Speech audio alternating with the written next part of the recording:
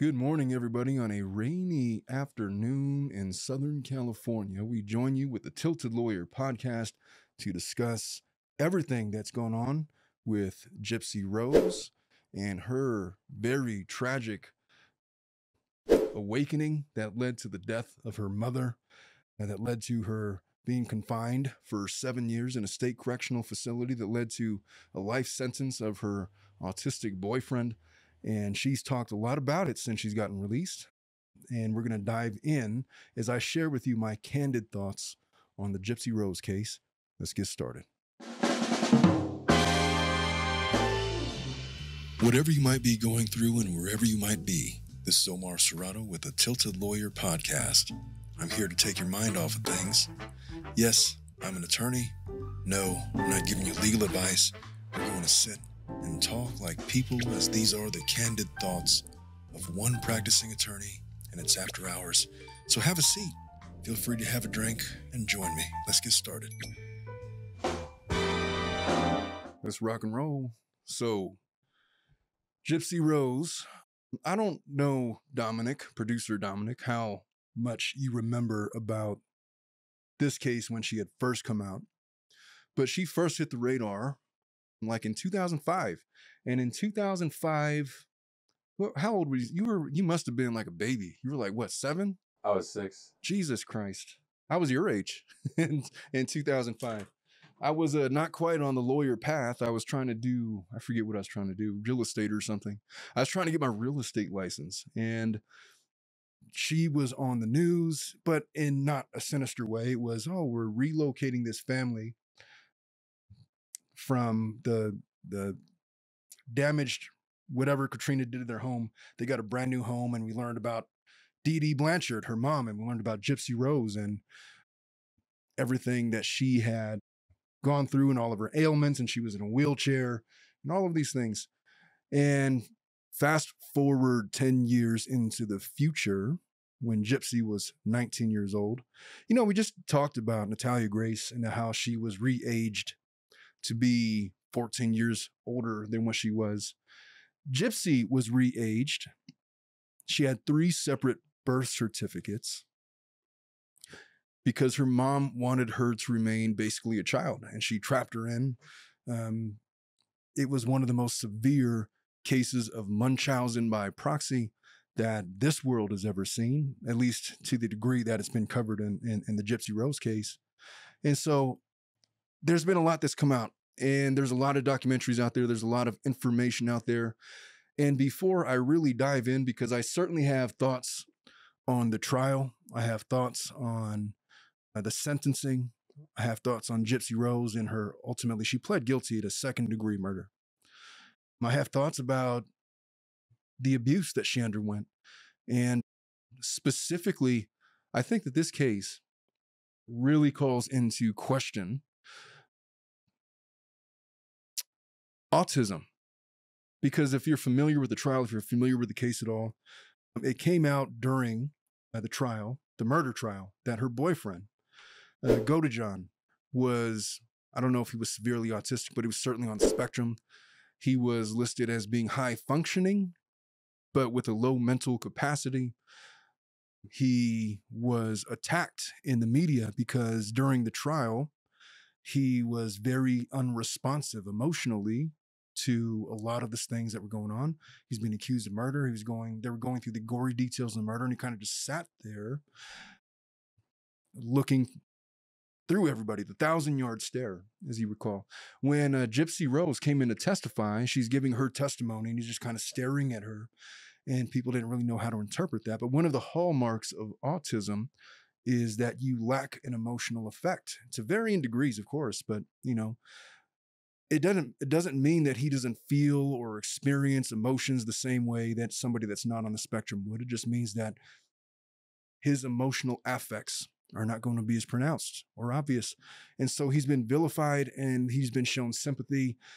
And this is one of these rare these rare cases where honestly you could probably make a movie or a documentary about any of the key players that was involved, specifically Gypsy, of course, but her mom, Dee Blanchard, who may or may not have been a victim of Munchausen by proxy by her own mother. by Gypsy's boyfriend, Godejohn, who was autistic and severely manipulated, seemingly, by Gypsy into discarding of her mom because she was abused uh, so severely. And I think the prosecution gave her a lot of leeway in allowing her to plead to second degree murder. And just to give you an idea, so if you're if you're convicted of second degree murder in that state, maximum sentence, of course, is life in prison, but the minimum is 10 years in prison.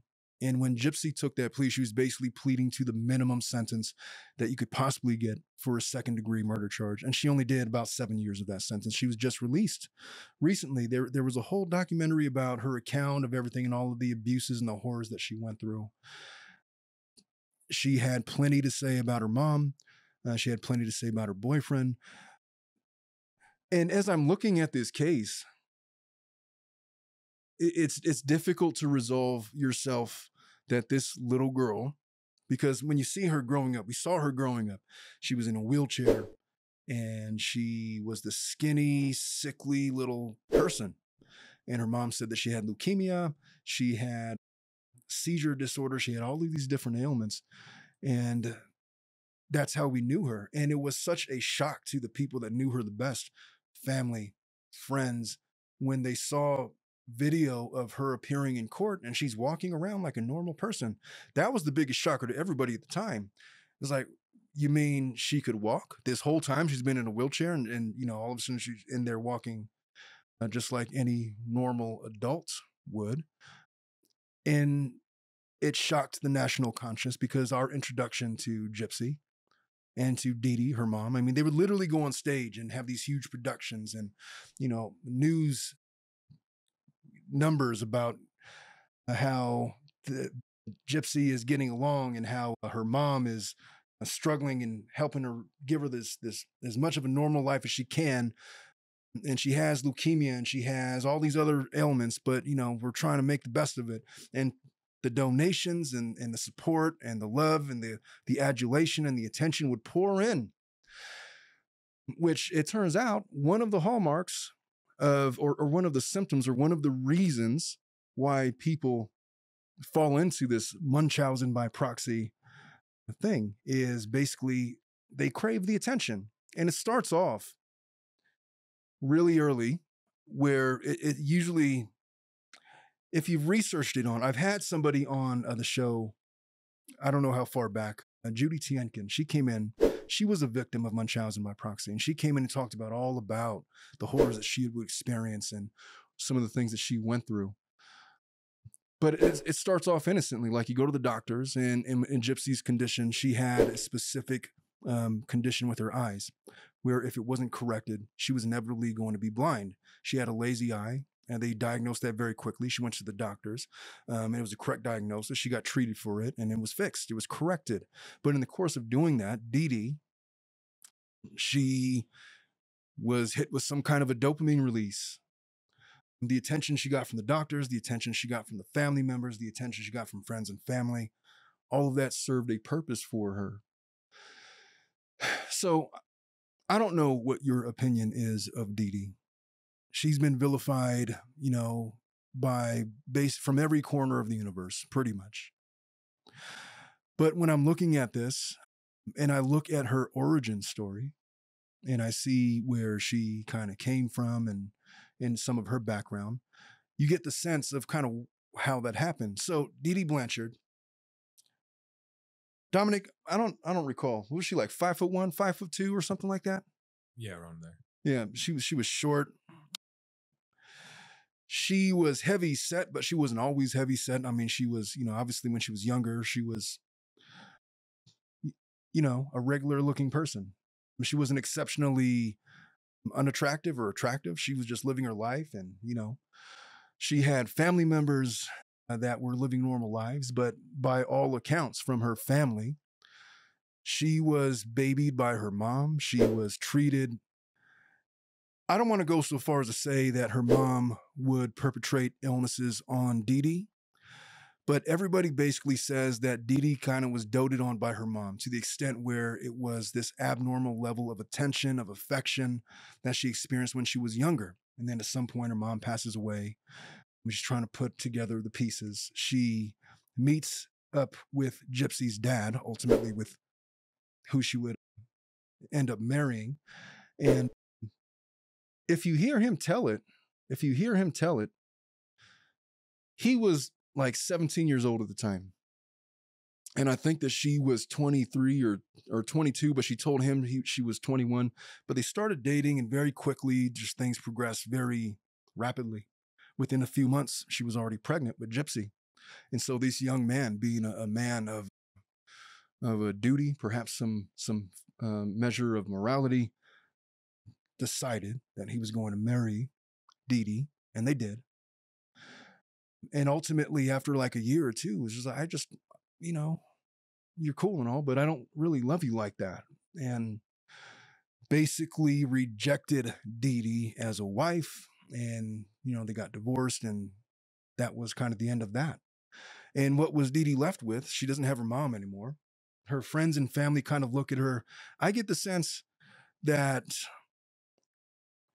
not that she's like the black sheep of the family, but just that she's in this special category in that family dynamic that not everybody else got the benefit of. And she had this baby, Gypsy, who was, you know, this adorable looking kid. She had this eye condition and she got it fixed. And then she uh, takes her to the doctors and they go and they work on her. And she gets a lot of attention and adulation that she used to get from her mom, that she had expected to get from her husband, but that was just simply absent going forward.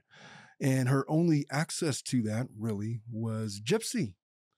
And so, even if, and let's just get this straight what Dee Dee did to Gypsy is by far and away one of the worst accounts of child abuse that you could ever imagine that didn't result in death. And I mean, I've seen worse. I've seen children that were tortured. If you could imagine it, you know, I've, I've seen that. But in terms of what she did to Gypsy, perpetrating these illnesses on her, forcing her to be in a wheelchair. I think it was like when she was three or four years old, and convincing her that she had cancer. She would literally tell Gypsy that, hey, your life expectancy, you're not expected to live past seven years old. And so might as well just make the best of the time you have. And then it kept, according to Gypsy, extending to 15 to 21 to whatever, because, while she would surpass those milestones she literally had a feeding tube stuck in this little girl. And gosh, the way that you the way that Gypsy looks right now, the way that she looks right now, she looks like a healthy young woman.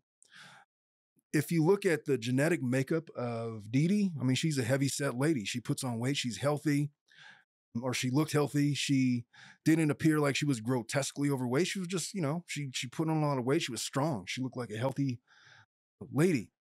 But Gypsy, when you see her in all of the pictures in her childhood, really until these most recent interviews uh, that she's did with a Lifetime, is part of her m- most recent uh, documentary. Um, she just looks like this sickly little person. And the only reason that, that would have happened is if she's being malnourished, if she's being forced to take medications that she doesn't need, if she's being forced into treatment regimens that uh, don't belong to her, you know? And I don't know, maybe she would have had measures on being a gymnast. Maybe she could have been like an, a softball player at a collegiate level or professional.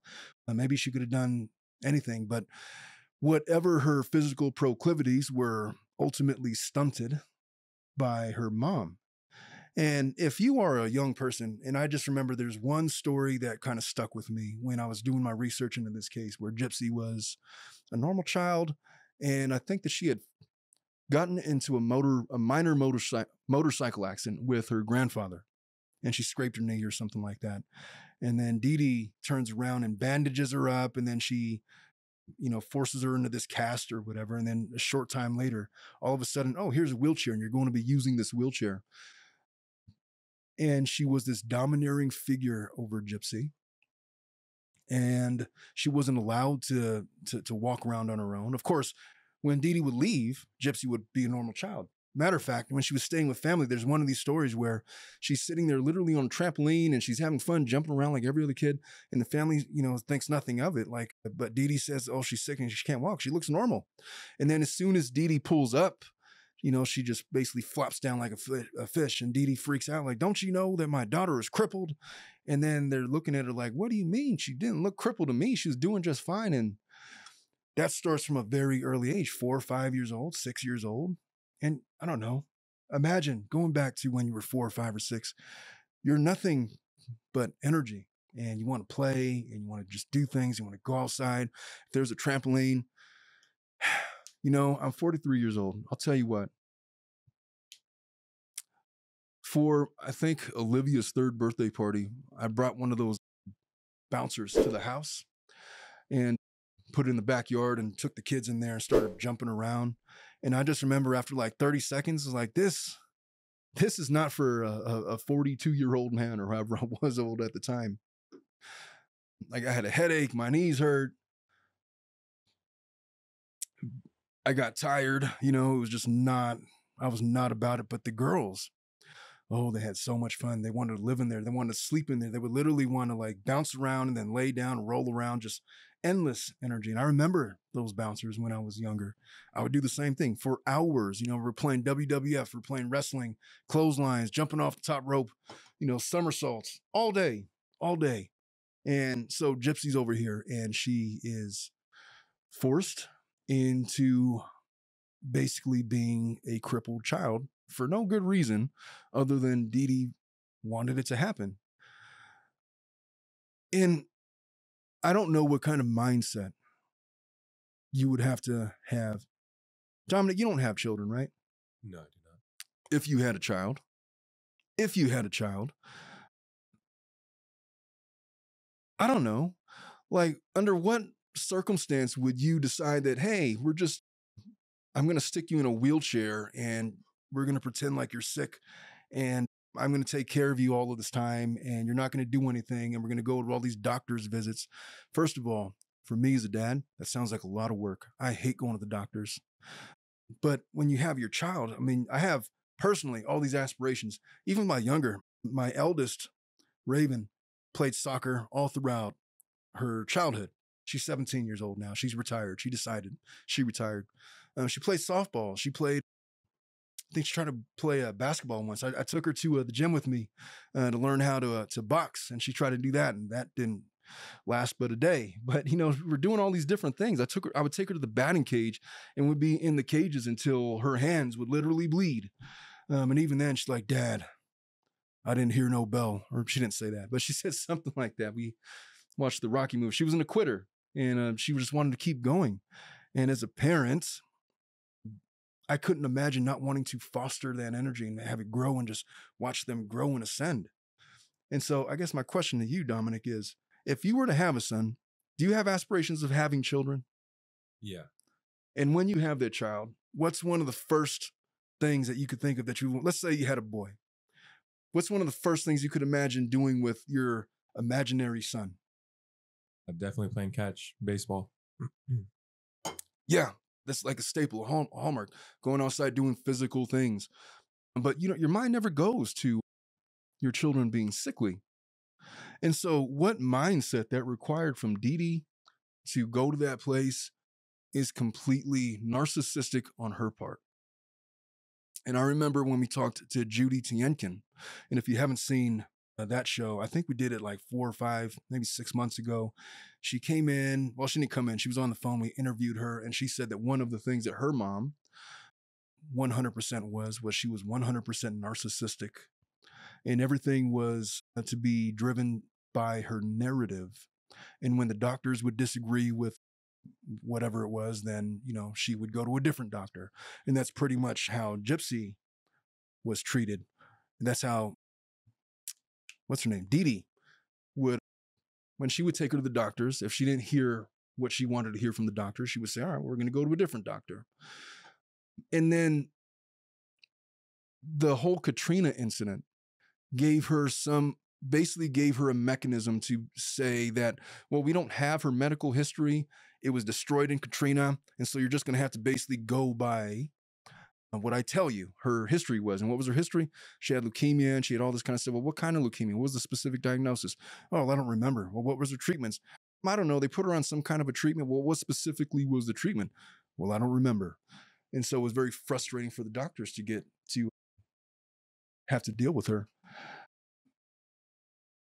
So, amidst all of that, Gypsy had a dad. And my impression of him, and you know, I've I've been practicing family law for a really long time. It's uh, my least favorite area of law. I had no desire to be a family law attorney, and yet here I am 10 years later. But he was this guy that just kind of dipped out. And he says that he made efforts to see his daughter. Him and his wife said that we would call all the time, and uh, Dee Dee would basically rebuff uh, their advances. Every attempt that he would make to try to have a relationship with Gypsy was uh, snuffed out by Dee. And unfortunately, I see that an awful lot. And most of the time, it's not because of Munchausen by proxy. It's not because of some mental deficiency. It's just simply because there's bad blood between the two. And Dominic, I don't know if you've ever been through a bad breakup or whatever. I don't know if you've ever had, and thank God if you haven't gotten married uh, to have to deal with all that fallout. But when you break up with somebody and you don't have the baggage, you have all of the hatred and you don't have to talk to them anymore. When you have children together and you have a bad breakup, well, you still have to deal with them for the next 18 years. And it's hard for the dad or the mom, well, whoever the parent is that doesn't have custody of the child, it's difficult for them to try to maintain a relationship with the child if the custodial parent decides that you're not going to see them. You have to fight for them. And fighting takes a lot of energy.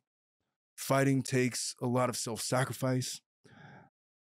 I'm not even sure if it if it's anything having to do with bravery, but it's difficult when the other parent every time you try to make an, an, an advance towards your child uh, decides that they're angry or it's just not it's not happening today you're not going to see your daughter we're not going to give her that gift you're not going to talk to her we're busy and they just kind of shut you down.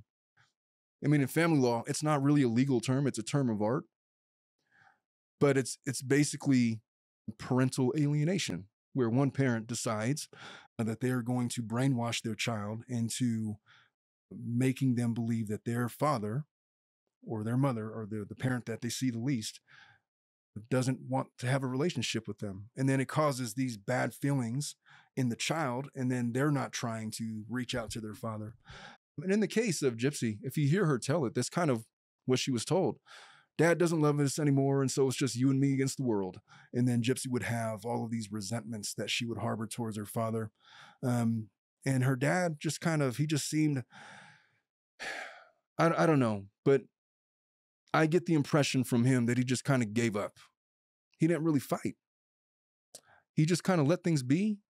He didn't really make an effort to really get a handle on what her medical conditions were. He was told the same thing as everybody else. She's in a wheelchair, she's got a feeding tube, leukemia, and all of these things.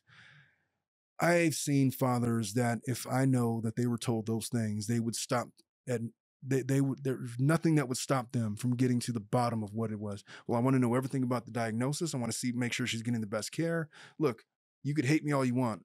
I'm here to protect my daughter or my son or whatever. But he was just resigned because Dee was very we just got done talking about Natalia Grace. You recall how we described how Christine was. She was like this basically uncaged beast wreaking havoc on whatever was in front of her. I don't get that impression from Dee Dee. I do get the impression, however, that she was just very probably exhausting to talk to. And I think that this guy just kind of just threw his hands up and said, Oh, well, I tried. And uh, that was it and he just let it be and he has started a family and was just kind of monitoring gypsy i guess throughout the years but didn't really do anything to uh, stop it i don't know what he knew he knew that she was born in 1991 not in 1995 but one of the issues that came up with gypsy was like she had three different birth certificates and she was literally, I think one of them said that she was born in 1995. I, don't, I forget what the, the second one said, but she was being treated as if she was a child and she's literally 19 years old. I don't know how much of that her dad actually knew. Probably not much at all um, until everything came out after 2015 when the murder took place.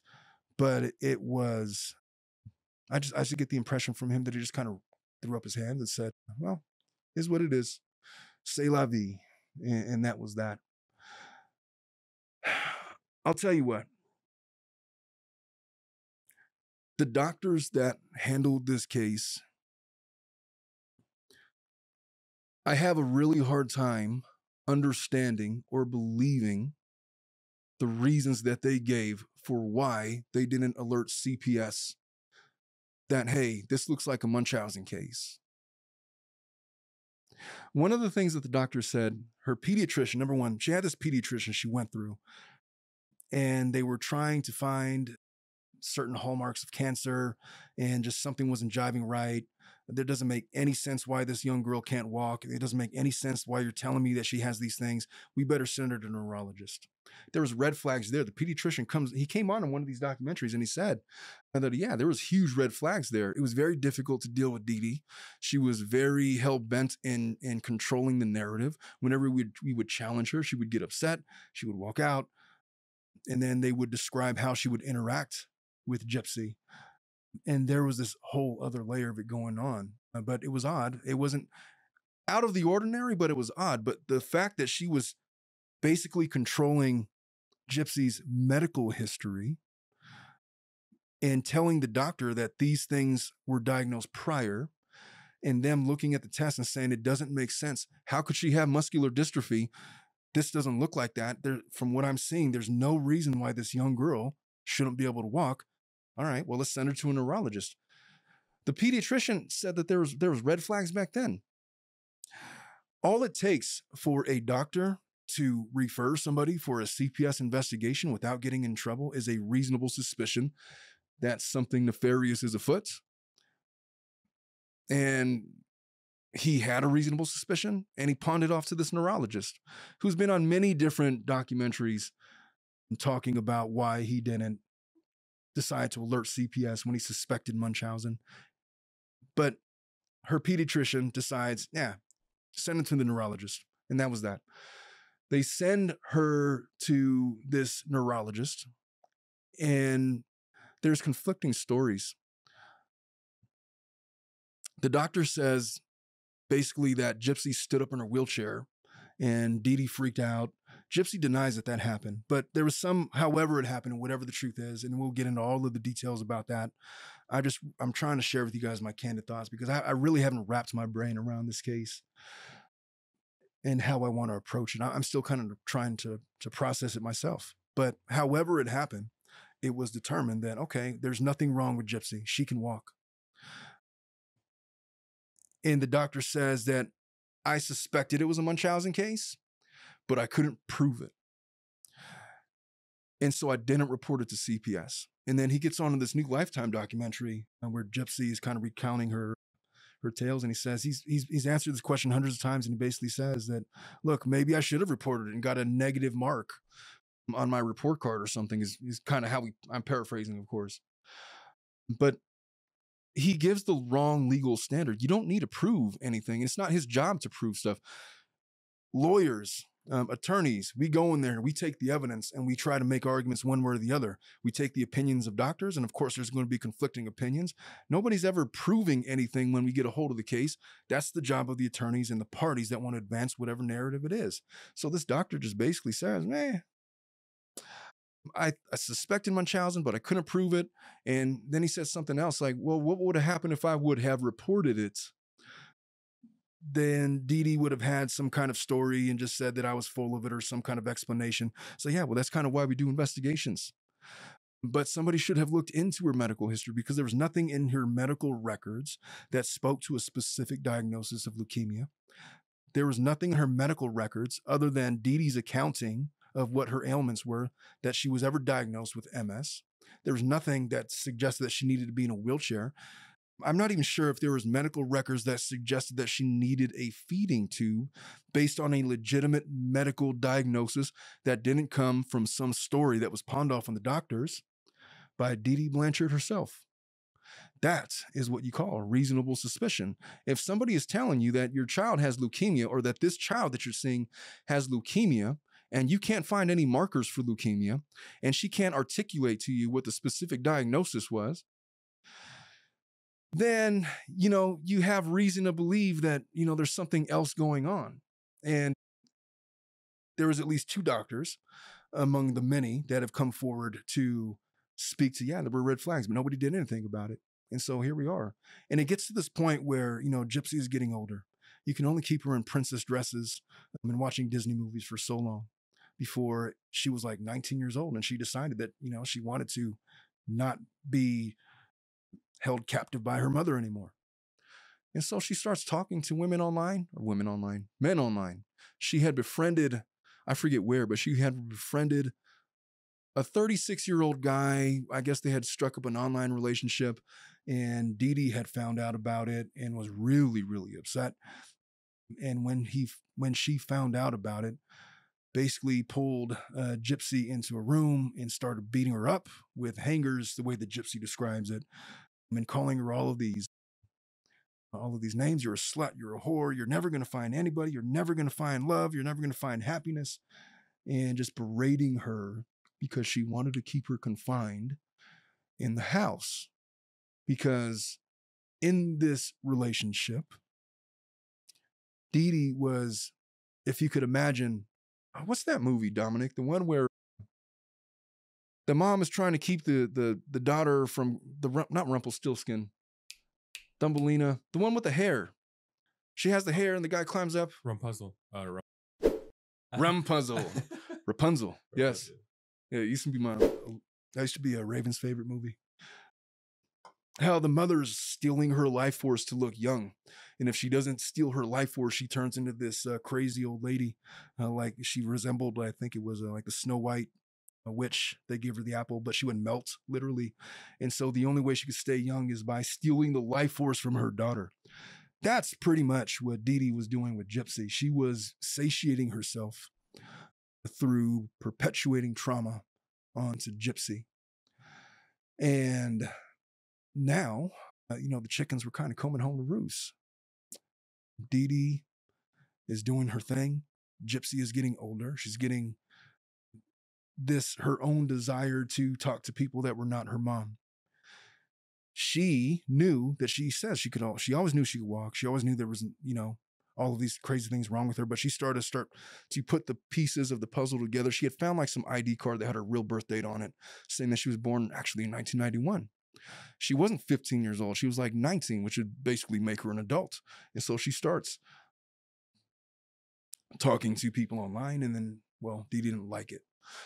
Uh, so, and and you you think, well, 36 year old guy, that's creepy. Yeah, that's kind of creepy for a 36 year old to be befriending a 19 year old, even if he.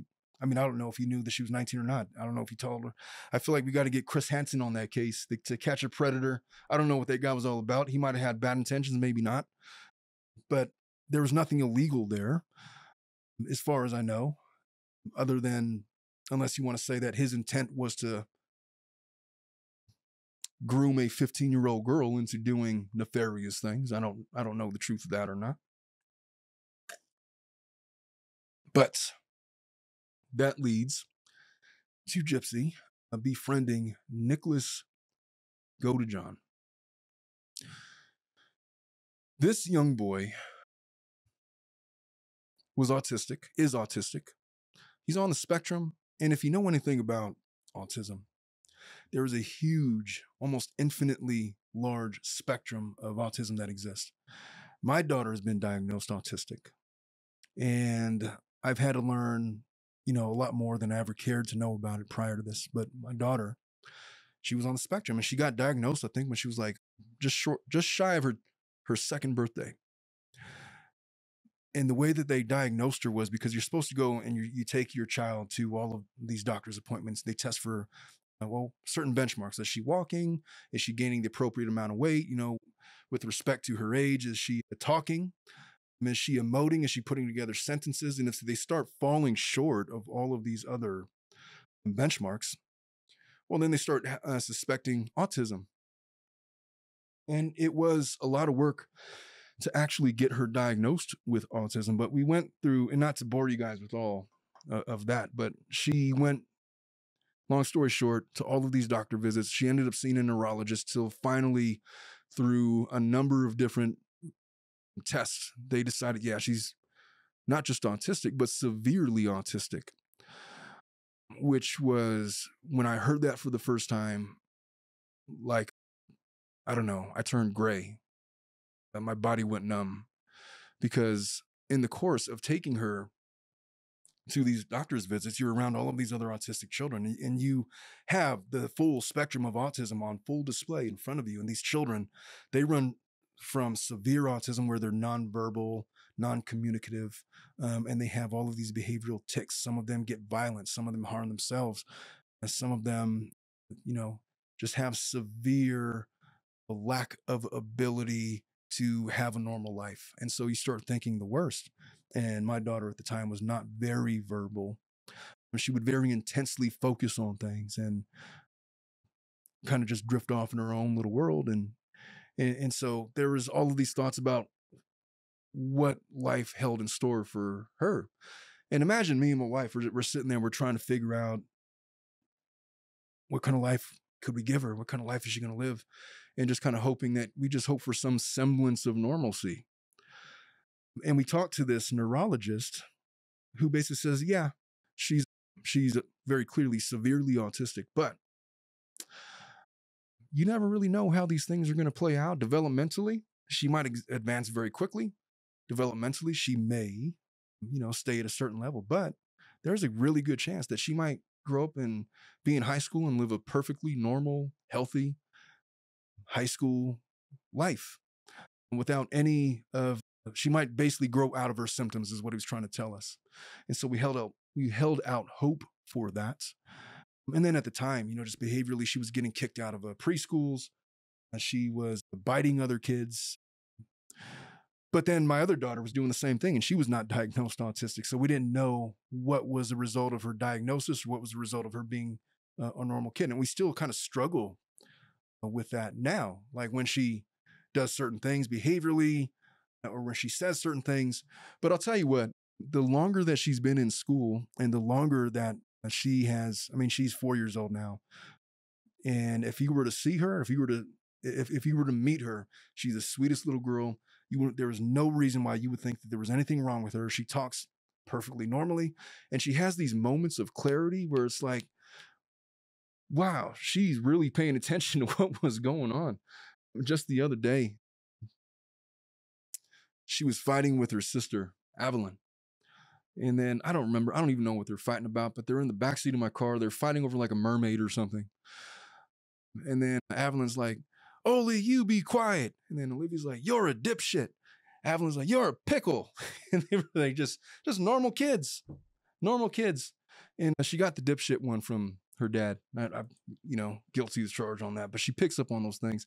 But the context and everything that she does, and I know I'm getting off track, but she is autistic, but she, to my eye, you know, God willing, uh, she is a high functioning autistic. And you know what's funny about that? When you're going through those diagnoses, you take all of these tests and then they test the parents as well. I took a test to see if I am potentially autistic and some kind of like hereditary thing.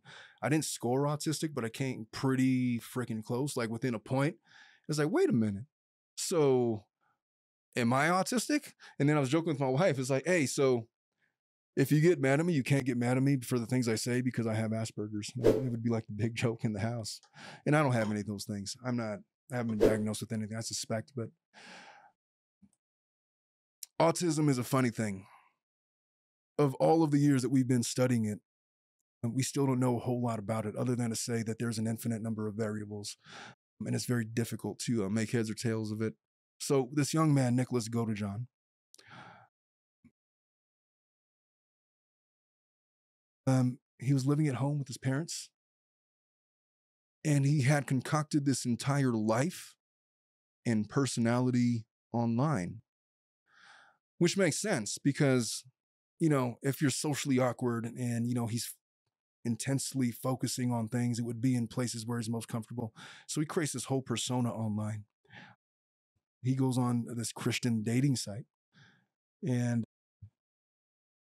he had explained to Gypsy that he had multiple personalities.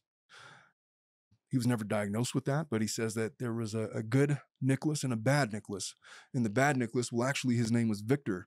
And Victor was this 500 year old vampire that told him to do sick and evil things. And a gypsy, as they were in the course of their online courtship, would basically come up with her own personalities to match Nicholas's personalities, and she would come up with like different wigs and different clothes and outfits. So they're beginning this this this online relationship, and it just takes this very sinister turn at some point where they wanted to be together and Gypsy had made an attempt to try to do this the right way. They're like, okay, so I don't want to lie to my mom. I want this to work out. And if you hear Gypsy talk about it through various different interviews, just just sum it up, she she had high hopes. Her plan was this: we'll go to the movies and then we'll just bump into each other. We'll pretend like we're strangers, and that way you can meet me with my mom when she's there, and then that way it's not this thing that we have to hide. And then she'll see that you're this nice young man, and then maybe it'll be nice. That was her hope. But if you knew anything about Dee Dee, um, there was no chance in hell that was going to work out ever. But in Gypsy's naivete, uh, she wanted to take a crack at that. That was her plan, and they meet up at this movie, Cinderella, the new Cinderella. Dominic, you know what that movie is about? I want to say that I took my daughter to see it. It was like not the cartoon, but to try to make like a legit movie about it around that time, 2015. If you don't know, you have no reason to see that movie if you didn't have a daughter. I've seen all of these movies because I have only daughters. And so I'm, I'm very versed, uh, well versed in all of this stuff. But they go to this movie and it just escalates really, really quickly. You know, most people on a first date, you know, it's like get to know you, coffee date, whatever, fine. But she was 19, and I forget how old Godejohn was. I think it was uh, like 17 or 18. They're close in age. But oh, they couldn't control themselves. They go and escape to the bathroom, and they ended up having sex in the bathroom stall at the movie theaters while she had as she had went there with her mom and being escorted in a wheelchair as she goes to the bathroom and they do their thing and then they come back and then Dee Dee does meet a Nicholas. She thought it was weird. She thought it was strange. She didn't like him. And Gypsy is just kind of so devastated that it didn't work out the way that she wanted it to. And so at that point, and we'll get into all of the nitty gritty, all of the text messages, because there's a lot, but similar to how we did the uh, Natalia Grace case, I really just wanted to kind of sit and have a drink. And by the way, drink of choice this morning, Nicholas, I was, uh, Nicholas, Dominic, I was going to bring you some Templeton rye, but I forgot it on the counter at the house. So we are enjoying the last of the Woodford Reserve, and we're going to have a whole brand new lineup uh, coming out uh, next week. But yeah, so they, they go and they they hatch this plan. And you hear them having these these text messages, and it basically amounts to this is where it just kind of gets dark. Um, you you kind of hear and you could feel through their text message text messages that Gypsy of the two of them was the more developed emotionally. She was a lot smarter than a lot of people give her credit for, and she was certainly more intellectually advanced than Nicholas. And she would say these manipulative things that, you know, amount to, would you do anything for me? Uh, would you kill for me? Well, listen, this is what we're going to do. We're going to uh, get rid of my mom and then we're going to be together forever. And this was going to be like her Prince Charming coming to rescue her. This is the danger of raising a child on Disney. I'm guilty of this. Okay, so my daughter, Raven, she's 17. She's a uh, perfectly well adjusted. She's doing really well. She's about to start college next year. She just started driving. She's doing all of these things. But uh, when I was raising her, you know, I needed to fill the gaps. I needed to fill time as much as I can. I was in law school, you know, and in my my my time that I had with her, I had to find ways to fill the gaps. And so what would we do? Almost every weekend, every other weekend, uh, we had these passes to Disneyland, and we'd go to Disneyland, and she would see all the Disney movies, and uh, she was very much she had a whole princess phase, uh, you know, mermaid phase, and uh, she liked Rapunzel. That's her name, right? Rapunzel.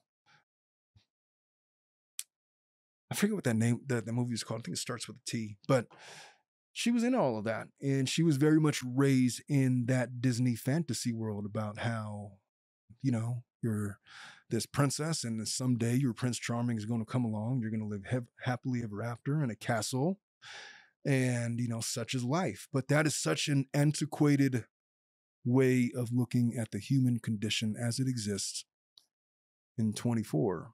We don't do that anymore. It's just not a thing. Unless you're growing up as part of the royal family, there's no monarchy here in America. I mean, even if you live in a place where there is a monarchy, you know, that applies to one family. If you're not part of them, you're going to go out and you're going to get a job, you're going to make something of yourself. But this idea that women are damsels in distress and they're just waiting for this strapping young lad to come and save them. Hey, there's some women that are still doing that, but the majority uh, go out and try to make their lives. And so it's antiquated. And I don't know if it's destructive or not because, you know, there's still a role that fantasy and stories like that play in the childhood of young minds um, because it fosters imagination and gets you into developing your sense of how we verbalize and communicate with each other and gender roles come from a lot of these things. And you know, you're starting to see a lot more of that open up. The storytelling has been exclusively man and, and woman. And now uh, Disney has made a concerted effort to kind of expand that. And so I don't really know where we're going with all of that, but this was Gypsy's world view. And so here she is, and she almost becomes predatory on Nicholas, where she, Nicholas is clearly head and shoulders um, in love with this girl and you you feel that when he's being interrogated by the police. And he's saying things like i would i would do anything for her. I worship her. And you know just saying all of this crazy stuff to the officer that's investigating him for murder. And just no sense of what's actually going on. When i look at people like that it's it's number one the reason why you never, ever, ever, if you're suspected of a crime, talk to law enforcement without your attorney present because they're not going to talk to you. I'll tell you what happens. Hey, I want to talk to my lawyer. You know what happens? Questioning stops and it never starts up again. You want a question about this crime, you ask them on the stand. And but they have this small window of time when the attorneys don't get involved and you get to question uh, whoever it is. And this guy didn't know about what lawyers do or speaking to lawyers. He didn't even know that he was in danger. He's literally trying to profess his love to Gypsy as he's being interrogated by the, the investigators.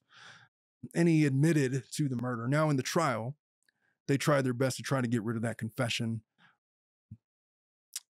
but not for the purposes of saying that he didn't murder them.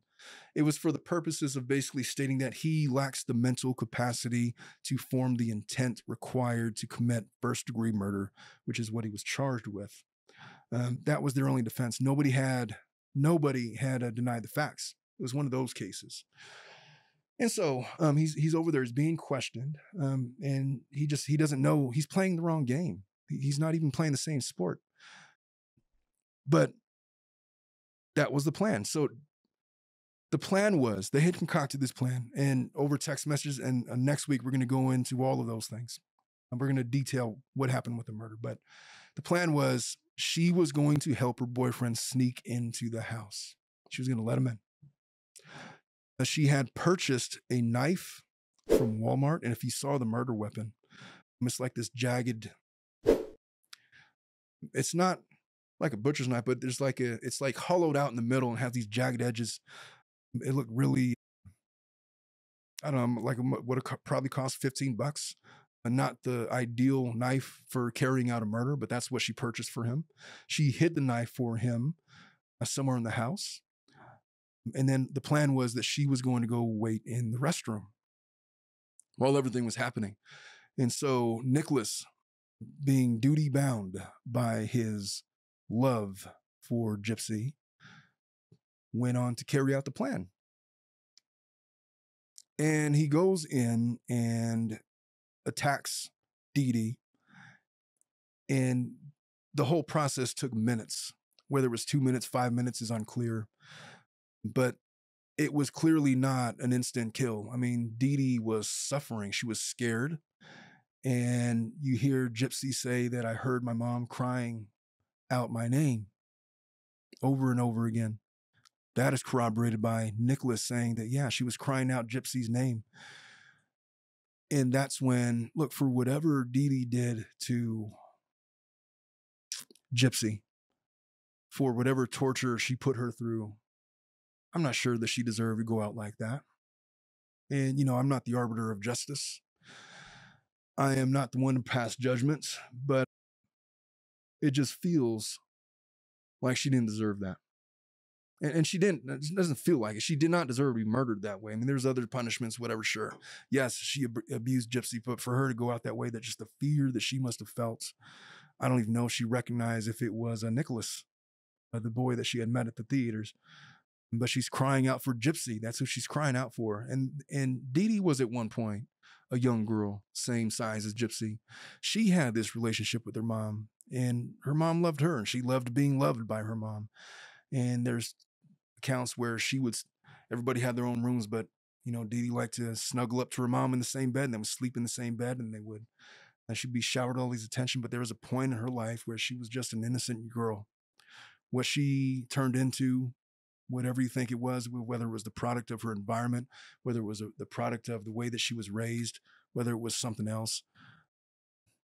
I don't know. What she became was certainly not favorable, but who she was, a living, breathing human being, she didn't start off as evil Dee Dee Blanchard. And in that moment where her life was being ripped from her, where she was stabbed 17 times and her head was nearly severed uh, with this tiny little knife. If you catch a picture of it. She didn't deserve that. But that's what happened. So Gypsy is in the bathroom, and as she is hearing her mother's screams, she starts to have regrets. But it's too late at that point. I mean, you've already started it. I mean, it's happening. Was she going to go from the come out of the bathroom to go save her mom. No, it was too late. She was scared. I imagine she was scared. But if she did come out of the the the, the bathroom to save her mom, would Nicholas have stopped? Listening to him talk, I imagine she probably he probably would have. I think he would have done anything that Gypsy had asked him to do. But she didn't. And a short time after the murder began, uh, just as quickly as it started, just as quickly as it ended, and it was over. Gypsy, she basically said, I was too afraid to go. She tells the investigators, I was too afraid to go because I was afraid he was going to hurt me. And I don't know how much of that I believe. Because Gypsy starts, when she's being interrogated by the officers, she starts basically trying to pull the rug right out from under from Nicholas and place all the blame squarely on him. She manipulates him into committing the murder for her um, she manipulates him into taking the fall for it. Um, and in the moment she when she's talking to the investigator, like I got I chills down my spine as she's um, basically giving her account. Um, if you listen to uh, if you listen to her jailhouse interview, not her jailhouse interview, the the interrogation, I want you guys to go back as preparation for next week's show and just listen to her being interrogated. My takeaway from it is she's very calculating what she says. She's very clearly got a plan. She's very manipulative. And I think that she learned all of those things from her mom. She had a whole life um, of being trained on how to manipulate people by her mom. Um, and she really believed, she really believed, I think, that she was going to get out of this scot free. All she had to do was turn on Nicholas. Oh, she turned on him so fast. But the reality of it was, I mean, she was going to jail. And ultimately, she did come in in 2018 and give testimony, which basically was trying to help Nicholas um, because the whole defense was he lacked the intent to commit first degree. Maybe he should be guilty of second degree instead. And Gypsy was kind of basically giving testimony that supported, I guess, that story, that narrative. If you listen to Nicholas's account, he basically I don't want to say it's heartbreaking to hear him say this. It's just uh, it's it's uh, very revealing to learn his mindset going through all of this. So he says he thought he was going to get away with it. They had this strange plan that I still quite don't understand. Where the plan was, they were going to mail the murder weapon and the gloves that he used to commit the murders from Springfield back to his house at his parents' house uh, prior to them getting on the bus, and that was going to, I guess, somehow uh, well, was going to dispose of the murder weapons, but it's still, you're still sending it to you. I mean, most people would send it elsewhere, but he sends it to, well, his house. They had this pre planned story for what to say if they got caught, which was abandoned right away. They asked him, Did Gypsy know that you were going to kill her mother? And then he answered very honestly, he said, Honestly, she asked me to. She felt it was her only way to be with me.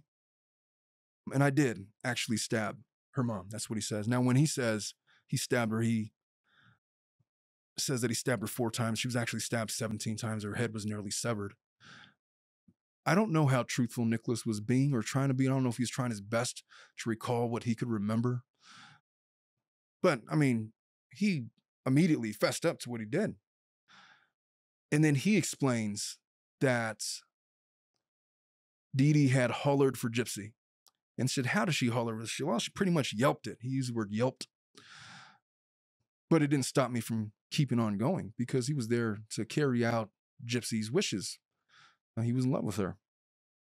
So they began the cleanup where he says he asked Gypsy to clean up the murder scene naked. And then Gypsy wanted to have sex, and then they did. Um, if you hear Gypsy recall that story, she claims that she was uh, forced to go into her bedroom, lay on the bed, and then she was raped, uh, which I don't believe that for a hot country minute. But that's her story. He talks about the multiple people being in his head. He says, I originally had refused to do it. He said, My evil side is what actually did it. Victor. And he says it's this character that he made up. 500 year old vampire who enjoys killing. He says, There's more than one person inside of me. Um, I used to take medication. I used to hear voices in my head. Um, and then, you know, he goes on that whole thing. But, you know, afterwards, he says that me and Gypsy had cried multiple times uh, about what we did. And he says that this, I told Gypsy that this is forever going to haunt me for the rest of my life. And, you know, he's ultimately charged with first degree murder. They're, they're both charged with first degree murder. We never got to see the trial of Gypsy Rose because she pled guilty to second degree murder. Prosecutors thinking in that was probably she was going to she was going to garner a lot of sympathy from the jury as the result of the utterly severe abuse that she underwent in the eyes of her mother. And Dominic, how tall are you? Like what, six two? Yeah, six two. All right. So you got to be six foot two. But if somebody were to stick a feeding tube into you, say at age four or five, and control your nutrients, so where they had free reign to control what you ate, they could starve you to look a little more sickly. I venture to guess that you might be like right now sitting there at five foot seven. She stunted her growth she was not given an opportunity to, to become a full person or live a normal life and all of those things. She was severely abused. And the, the, the course of her life was necessarily altered by the abuse that was perpetrated on her by Dee Dee Blanchard. But okay, so since that whole narrative had already started to come out, the, the prosecution just kind of cut their losses and said, all right, you know what? Plead her to second degree murder. We'll give her the minimum. 10 years, and this is what she got open for parole. She recently just got par- paroled out. She did about seven or eight years. Um, but Nicholas was a different case. So if you hear the prosecutor um, describe it, he says that the misconception The misconception was that he did this as an act of chivalry. In the prosecutor's mind, this wasn't a chivalrous act. This was something that he wanted to do. He had fostered feelings of wanting to kill. He had this whole alter personality, Victor, that he said liked killing. And so this was something he was going to do regardless of whether or not he ever met Gypsy Rose. And there might be some truth to that. If you look at the text messages, uh, some of them that we're going to go through, uh, there was text message on June 9th of 2015. The murder had occurred on June 10th, where he's basically saying, is your mom a light sleeper? And then he says, babe, this is my evil side doing it. And then he talks about his evil side is not going to mess this up because he enjoys killing. That's not somebody doing this out of, okay, I really don't want to, but I love you so much. I'm going to do anything to be with you. This wasn't that. This was something more sinister. The defense had argued guy has a low IQ. He suffers cognitive disabilities. He wasn't able to formulate the requisite mens rea or mental states to commit murder in the first degree. But the juror the, the jurors had seen the video of him in the investigator's room as he's being interrogated, basically stating he seemed like a normal person. He didn't seem like somebody that was cognitively impaired. I mean, he didn't. He wasn't talking like eloquently as if he was like Albert Einstein or something like that. But it, you know, he seemed like he was getting along just fine. But they saw him admitting to the murders, and he was communicating at a reasonable le- uh, level. And one of the the explanations for that. Well, it was late and he was tired and he was just kind of saying whatever he had to do to get out of it. But then he gave another jailhouse interview that was recorded to a uh, TV reporter.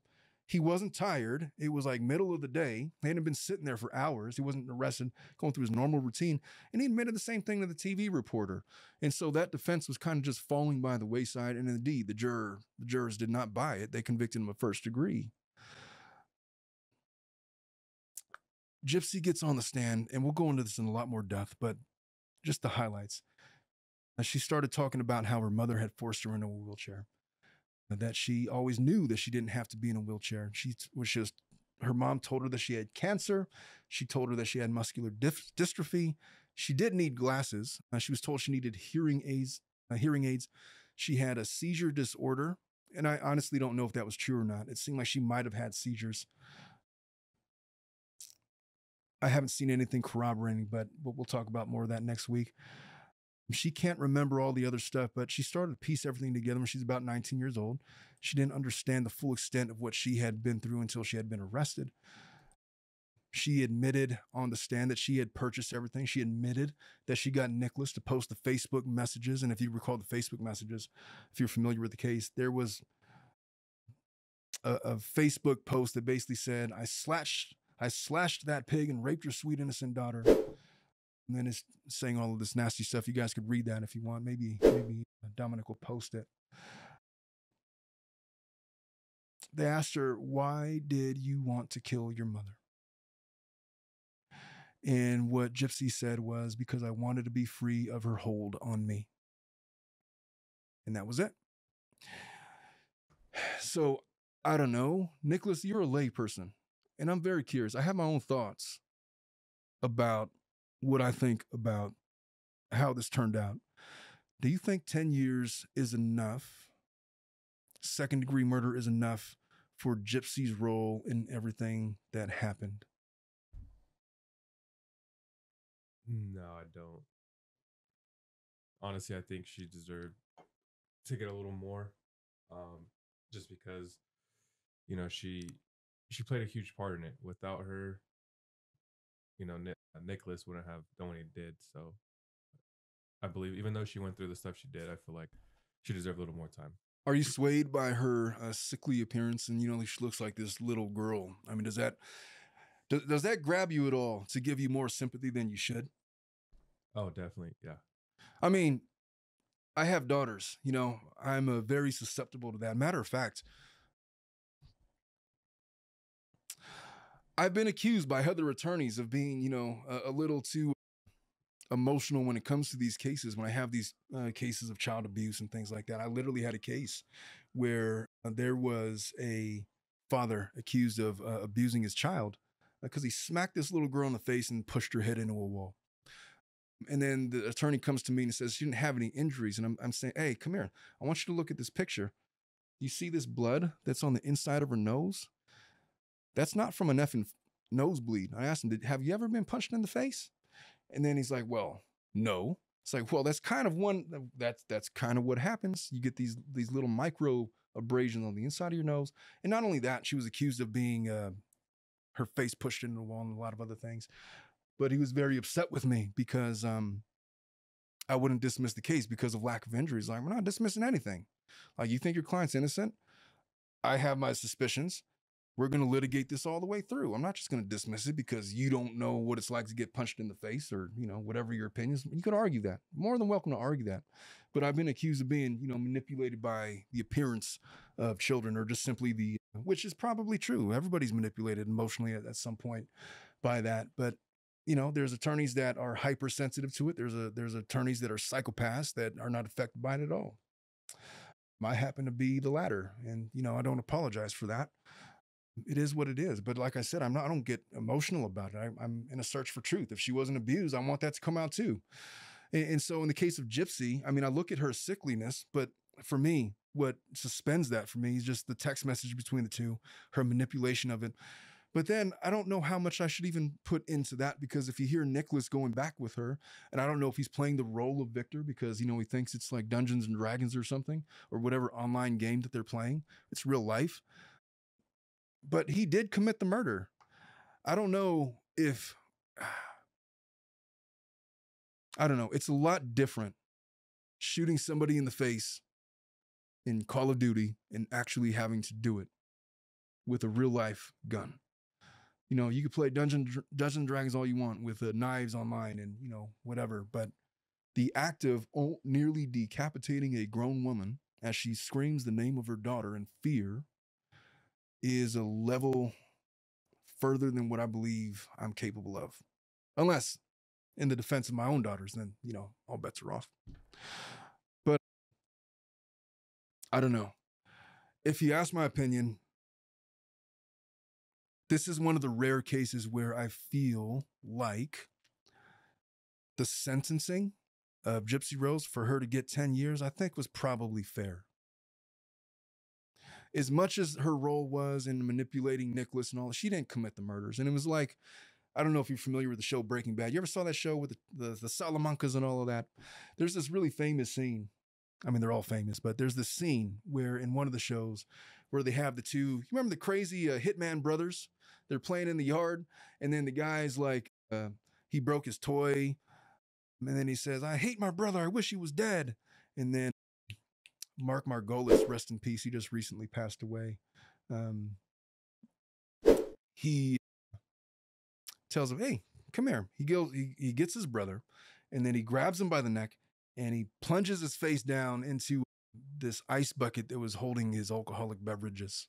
I mean, he's holding him there, and the other brother that said he hates him is, is he just flipped. Now he's trying to save his brother, and he's hitting him, and he's hitting him, and finally he gets up, and then at the end of it, Grandpa Salamanca gets up and says, Familia es todo. I know my Spanish sucks, but that's Ileana will grade me on that next week. But he said, family is everything. But it was it was almost akin to that, where like she wanted, she in the moment, that's what she thought she wanted. But in the moment, she wanted to uh, flip and reverse, but she was, you know, not the kind of person that was physically able to do that, or she just wouldn't. I don't know. But again, I have not fully formed all of my thoughts. I'm rattled by this case because I have, I almost, it's one of those rare cases where I literally have sympathy for all of the main players in this case. I sympathize with Dee to a very large extent. I sympathize with Gypsy, uh, Gypsy obviously, uh, but I have some sympathy for Nicholas too. And I'm not really sure where I'm going to fall on all of this, but we're going to dive into all of this next week in depth. Next week, we are going to go further in depth about the extent of the abuse that Gypsy underwent. And then after that, we're going to recap the dynamics of the trial and how that all came to be and where everybody's all uh, doing now. Uh, but that's going to be next week. But for now, this was our introduction, our primer to the, our next series, which is going to be on Gypsy Rose. We're going to cover that. Uh, but that's all I really have for you guys this week. And uh, I'm really looking forward to getting into it. If you want to prep for the show, there's a number of different documentaries that are out there. The, the most recent one just came out on Lifetime. There was a, a another one in 2017 and on 8 and 18 that had come out um, that also talks about the case. But I'm going to really get into um, some of the finer details and just see what was what. I think we need to know the extent of what Gypsy went through, what's fact and what's fiction. Gypsy has a story, not all of it is true. I can tell you that right off the bat. Um, to what extent was she abused? I think that's very important to know. And by the way, essentially, when she was recalling her years in prison, by all accounts, it was like she was at summer camp. She was doing well. She learned to do her makeup. She was finally free of her mother. She was starting to develop the way a normal person would. Uh, she went to school. She educated herself. She has her high school diploma now, I think. And she has all these plans. She put on weight. She looks healthy, actually. she must have weighed not, not much more than 85 pounds when she was arrested. She's probably a really good, healthy weight now. She looks really good from what she was when she went in to now. By all accounts, she's thriving and she's out now. Nicholas is still in jail. We're going to talk about whether or not that's fair. And uh, we're going to further develop our thoughts on that. And I invite all of you uh, to join us next week when we uh, talk about those things. And with that, I thank you guys for joining us for this episode 56 of the Tilted Lawyer podcast. We're going to see you guys all next week. Bye bye.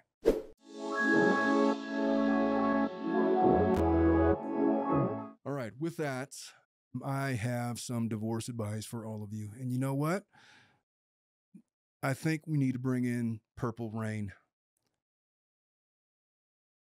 We're going to, we're going to transition to Purple Rain because we're going to have a talk with Uncle Omar about uh, divorce advice. Uh, there's a young lady that is wondering about whether or not she should get advice. This young lady is 28 years old.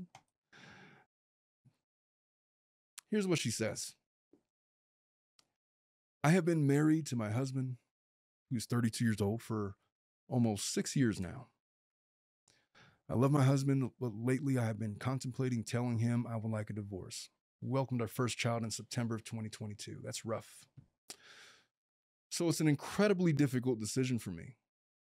We have done couples counseling in the past, and I've encouraged him to talk with a therapist after the baby arrived and he started having the jealous feelings that, but he never followed through. We had a big blowout fight, or we have a big blowout fight at least once a week and no matter how much I express, I feel like I am not being heard. It never results in an actual resolution. When our first son arrived, my husband dealt with some jealousy issues and having to share me with the baby. Those are his words. We have never really been the same. And all this constant fighting really has me debating on if we should call it quits for the betterment of our son. But I truly do not know if having divorced parents is better than having parents that fight a lot. I just want to make the best decision for him. All right. These are my candid thoughts. I don't know, Dominic. What would you tell this lady just off the basis, of the strength of what she just said in your 25 year old life perspective? Based on what she's saying there, what do you think that I'm going to say? Yay or nay to this? Nay. you think that I'm going to tell them they should stay together? Oh no no no! You should uh, definitely leave. well, let's just let's let's get this started. If you want to get divorced, you guys have been married for six years now. All right, so that means you were 22, he was 26 when you guys got married. You were just a baby when this happened, but you guys have a child together. And look, six years in, you guys have committed this much of your life together, but you're not going anywhere. You have this child. And what? You're going to get divorced. You're going to be a single mom. You're going to get divorced, and he's going to be a single dad. And you're going to have to figure out the custody and visitation of it all. Likely, it sounds like that's probably going to be you because you're telling me that, you know, he's jealous of the baby and all. But hey, that's a very real discussion that has to be had. Custody and visitation. What's it going to look like? What is the visitation going to be? Is it going to be every other weekend? Or are you guys going to do a 50 50 thing? What about alimony? We're going to talk about child support. We're going to talk about uh, spousal support, which you're not, you're probably not going to get much of. uh, since you guys are in in merit well in California. In California, if you haven't been long, married longer than 10 years, there's a, there is a presumption that if you're going to get alimony at all, it's going to be for presumably half the length of the marriage. You're going to have a few years of that. Look, getting divorced is a really difficult thing to do. It's permanent, but it is difficult. You got to go through financial disclosures. You got to go through, we got to have these talks about support. We got to have these talks about custody and visitation. How are we going to divide up the assets? It is not a lightweight thing. And you know what? It's a lot harder going through all of that when you have basically a one year old uh, toddler growing up in your house. And so I'm not saying that you should or that you shouldn't. I'm just saying that is a very big decision. I'm glad that you're asking me about it because it, um, you know, it, it's something that you should consider. But she consent, continues. This is what she says. Um, today we argued, and I told him why something he did was bothering me.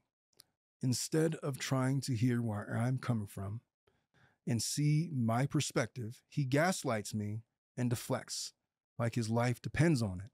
This is the outcome I expect to the point where I just totally avoid talking and about things that bother me. I know that this is not healthy, but mentally, this is where I'm at. You can only be told your feelings are invalid and crazy so many times before you start to think that might be true. Well, you know, uh, to be honest with you, it sounds like the relationship is on the outs. Any man that gets jealous of his wife taking care of their son is a red flag. But I'll tell you what, it's not uncommon. You know, it's a very common thing. So here you have, you guys are, are in this relationship and for all of this time, and you guys were together for six years, and who knows how long you're together before that.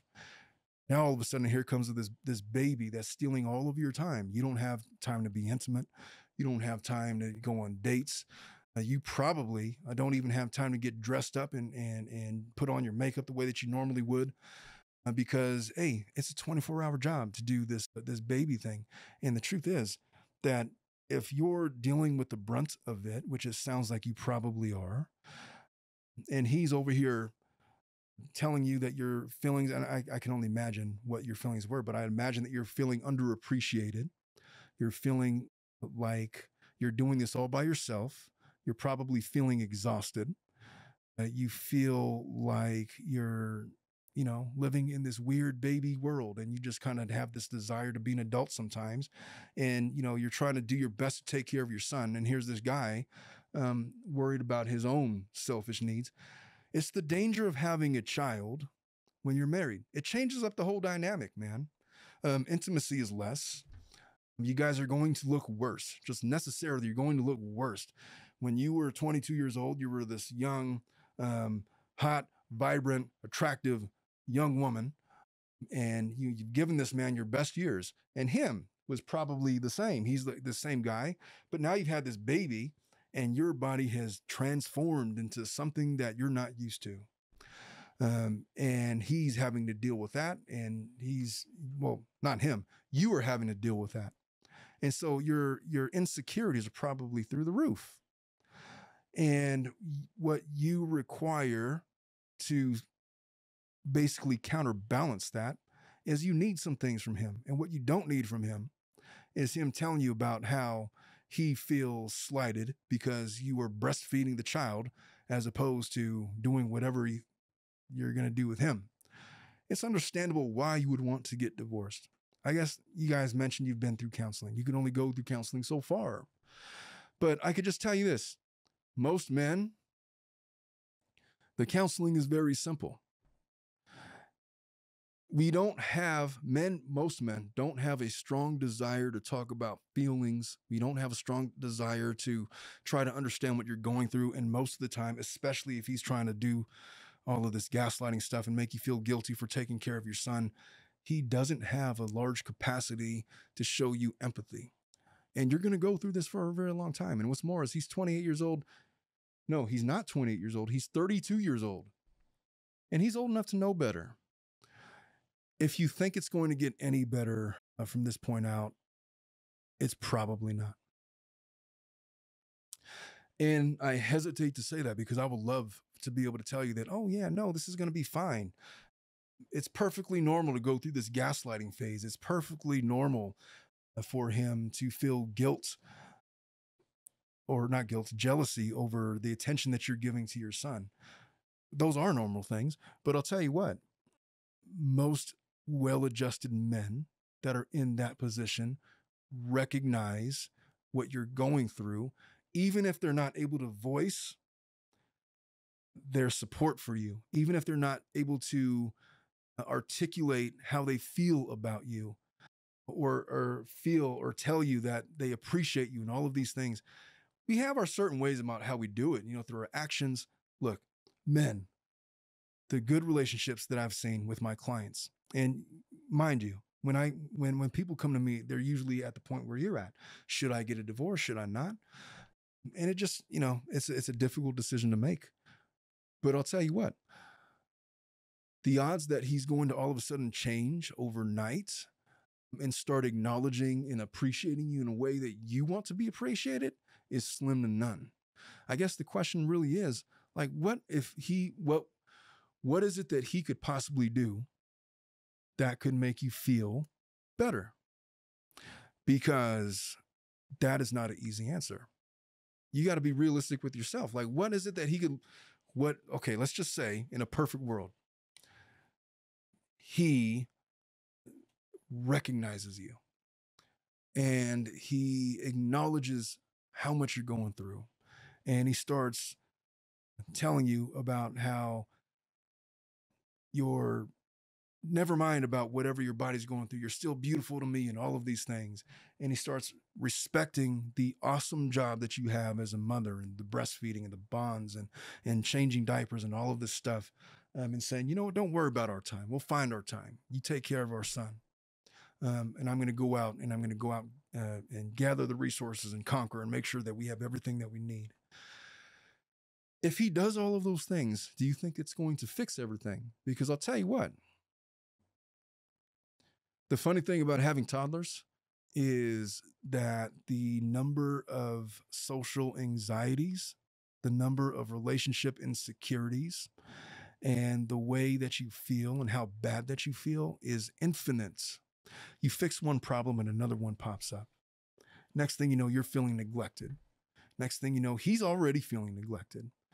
And, and then, you know, that snowballs into whatever it's going to snowball into. But if he's being selfish with his time, if he's being selfish with his feelings, if he's not giving you anything in back, you really have to ask yourself very carefully is that what's really going on? Because if the answer is yes, if he doesn't give a shit about you, if he doesn't care about what you're going through, if he doesn't even acknowledge, you know, how hard it is, your daily schedule. I remember what it's like.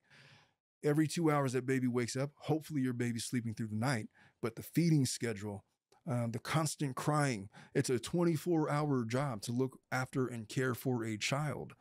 It changes the, the dynamic 100% it does because you have now sacrificed yourself uh, for this child. You have to keep it alive. You got to keep it happy. You got to do all of these things.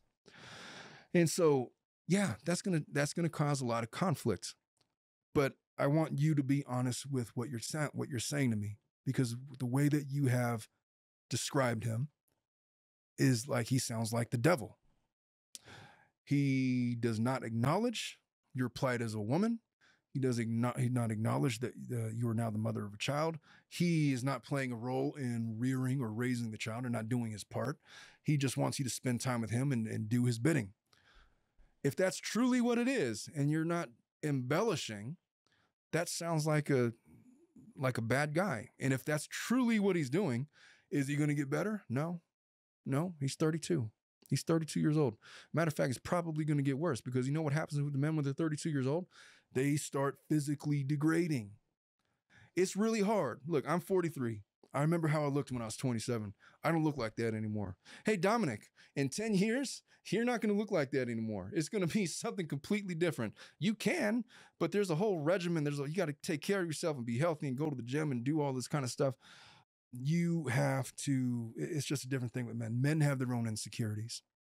And right now, I can tell you that what that man might be feeling, he might be feeling insecure himself.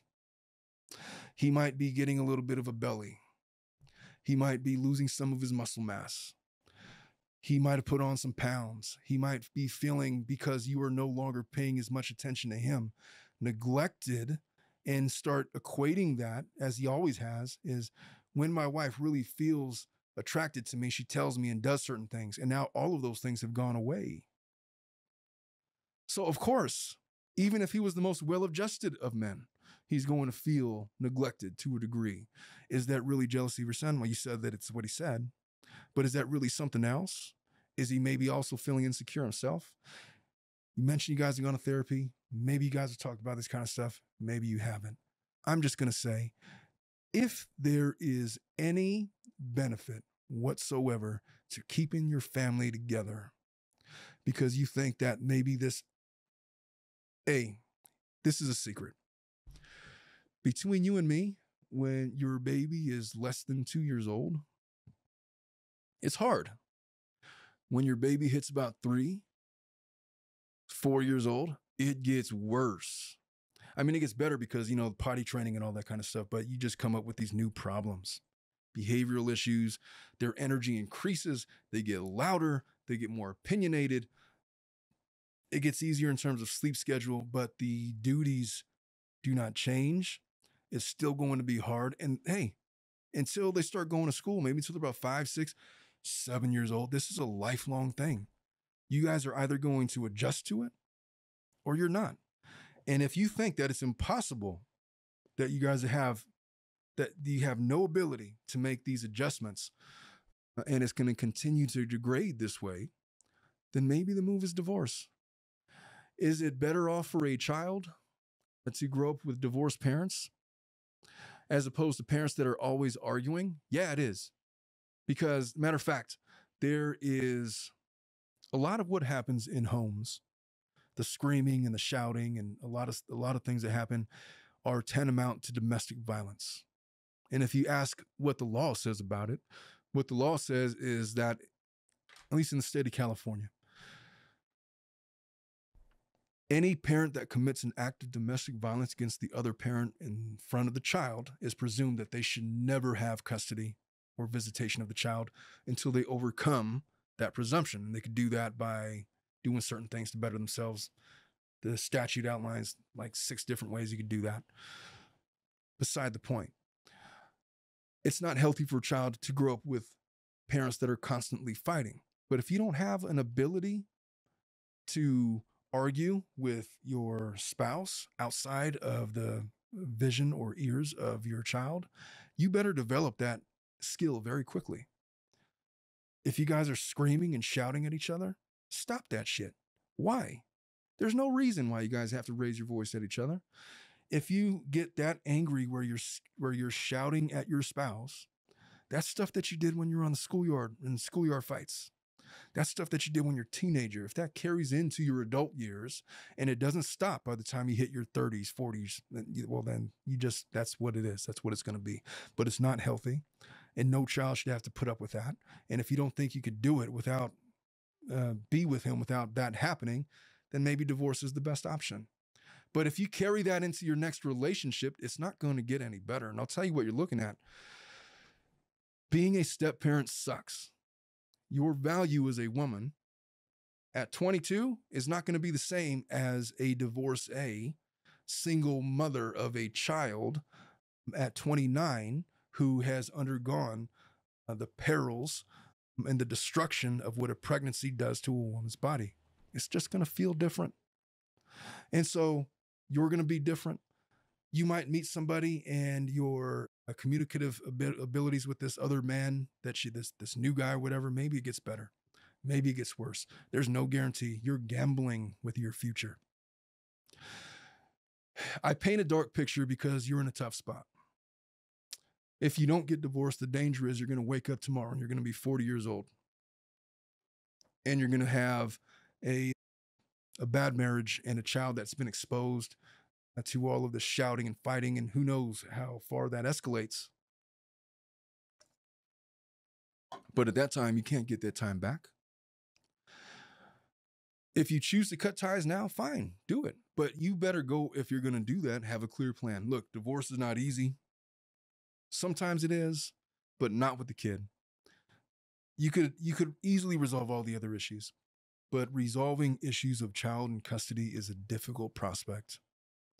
No matter how good the circumstances are. Even if you guys are in full agreement, you know, somebody what if somebody wants to move to Texas? What if somebody wants to you know, do whatever. You are bound to this person for the duration of that child's life. And, you know, you don't get to pick and choose. It's, that's it. When you decide to remarry or get in another relationship, that person is going to be affected by your old relationship. That makes it less palatable and makes your options fewer. Maybe you can do it, maybe you can't, maybe it works out, or maybe it doesn't. I'm just going to say this if there is a way to salvage what you have, then do it.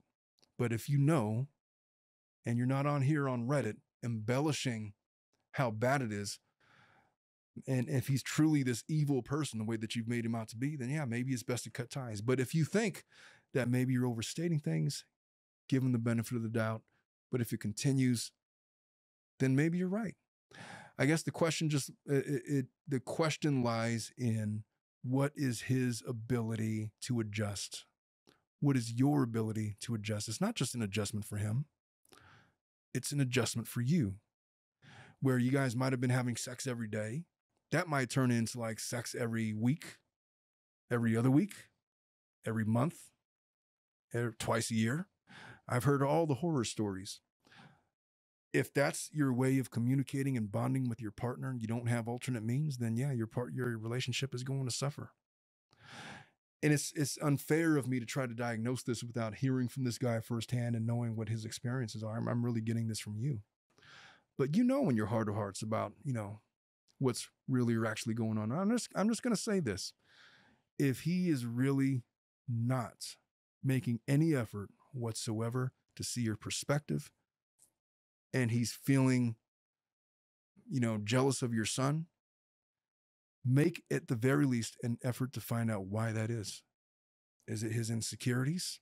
Maybe you guys should have that discussion. Is it because you guys are having sex less? Is it because he thinks he's 32 years old now and this isn't working out? Is it all downhill from here? That's a very real thought that real married folks go through when you have a child. Look, you're only single without kids and responsibilities for a short time in life. Once you have that first child, everything shifts. It's a very difficult psychological transition to make, man or woman. The issues are different. There's some issues that are common, but if you can't uh, make the adjustment together and you have no ability to do that, then maybe it's time to cut ties. But do not do that before, at the very least, giving him the benefit of the doubt and seeing where this transitions um, while the baby is young, two, three years old. This might all, he might grow out of it. He might learn how to be a dad. Right now, he's learning how to be a dad. Right now, you're learning how to be a mom. You might even have a better grip on it than he does. But more importantly, he's having to learn on the fly how to be a husband to you with the birth of your son. And you also have to learn how to be a wife to him with the existence of your son. It's a variable it's a variable that has changed and you can't change it now. There's no going back. So it is what it is. And that is what you that that's what you sign up for for better or for worse in sickness and in health through the changing of the seasons through the passage of time no matter how good it is no matter how bad it is you chose this man. You chose him when you were young. I wouldn't have advised you to do that but you did and you chose to take him on with all of his uh, all the worst of the worst, all of his snakes, all of his demons, all of everything. You chose that. If you don't make an attempt to embrace it, then you're doing yourself a disservice and you're possibly doing your son a disservice. You never know. In a couple years, it might work out. It might. Because if what he's going through is a maturity issue, there's no fixing that. But if it's a transition issue, well, that's temporary. And, you know, he might wake up at 35 years old and just completely figure it out. It's going to take him a little while. His whole life has changed. There's, it's just, everything is different when you have a child. And so give it a little bit of time. There's no reason for you to get a divorce right now unless you are unsafe. If it's just you're feeling a certain way because, you know, your feelings, that's one thing. If it's your safety, that's quite another. Then run for the hills. Just give it some time. Wait and give it a year. You might be surprised at how much you guys learn how to be married with a child. It might work out. Counseling doesn't solve everything. And people, I feel like they rely on that so too much as a crutch. Most men are not receptive or going to be receptive to marriage counseling because it's this awkward thing. This person's tr- telling you about how you're supposed to be a man and how you're supposed to be attentive to your wife and her emotions and all of this stuff. And, you know, the act of even getting becoming receptive to that is an act of its- in of itself. But you guys have been together. So look, you guys are partners. Try to figure it out on your own. There is a line that you should set for yourself. This is the deadline. This is the cutoff. There's a I'm willing to put up with this, but I'm not willing to put up with that. And you guys are already talking about this. And honestly, you should be having this conversation with him that look, that I feel like this is where we're going. If we don't change something, this is what's going to happen. And so you need to know that I'm your wife and I'm raising your son. And I want to make sure that you feel appreciated and attentive, but also I have needs too. He may or may not be receptive to that. You've already told me that he's not receptive to that, but give it a chance. Let him make the adjustment. If the adjustment doesn't come, then there's nothing wrong with cutting ties early. Your son will survive. Is it better or worse to have a broken home versus an intact home? I don't know. I, I really don't. In in a good marriage, if the marriage is good, of course that's that's better. That's what everybody has. But guess what? What's the percentage of the world's population that you think has that? Very small. Your child is resilient. He'll adjust. So in the meantime, don't cut the ties right now. Give it a little bit. See where it goes. See how he matures. See how this new child and the changes that you guys both have to make, see where it lands, and then make the decision then. But if no change and whatever the gaslighting continues without acknowledgement of the awesome sacrifice that you have made for the family, that's not going to get better. Then you want to cut the ties. A little premature, but yeah, you guys are heading that way. Just let's see how it develops, and then we'll see. But that's all that's all I have for you guys on this issue of the Purple Haze Reddit advice, relationship and divorce advice from family law attorney Omar Serrato. We're missing Ileana Rosa today because she's taking care of her very sick child. It's it's a rainy day in Southern California. Everybody's getting the flu. I've been able to avoid it thus long, this thus far. Um, you know, luckily, but we'll see. But that's all I have for you guys for this week. We will see you guys on the next episode. I love you guys all. We'll see you guys next week. Bye bye.